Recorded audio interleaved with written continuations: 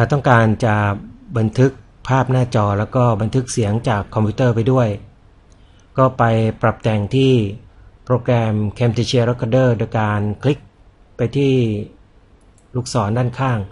แล้วก็เลือกไปที่ Stereo Mix แล้วก็ปรับแต่งความดังของเสียงที่จะบันทึกมาจาก Stereo Mix หรือว่าจากคอมพิวเตอร์ จากนั้นก็กดปุ่ม Record หรือว่ากดปุ่ม F9 เมื่อต้องการหยุดก็กดปุ่ม F10 และหลังจากที่เราพรีวิวเราก็จะได้ยินเสียงที่ออกมาจากลำโพงคอมพิวเตอร์ ซึ่งเราได้บันทึกเข้าไปไว้ในคลิปวิดีโอที่เราจับภาพหน้าจอ